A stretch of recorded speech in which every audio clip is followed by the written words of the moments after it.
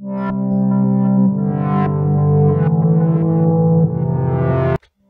Room FX, this is Joe. We're looking at the daily chart of gold. Holy shit! What the fuck happened today? Holy shit! The big crash that I was talking about a few days ago has arrived. Uh, broke through 1780. What a massacre. This was a complete massacre. I wanted to short it, but uh, honestly, I didn't have the chance to short that. Hit the candles here. They were just a straight waterfall without any corrections, so it did not give us a chance to short.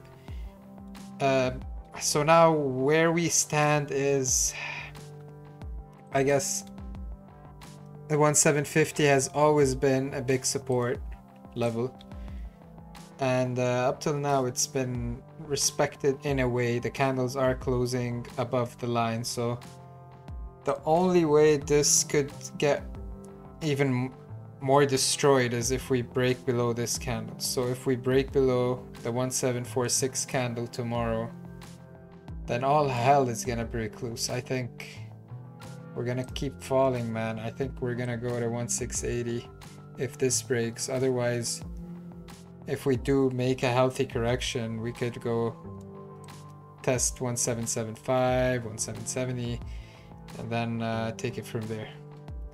Trade cautiously, guys.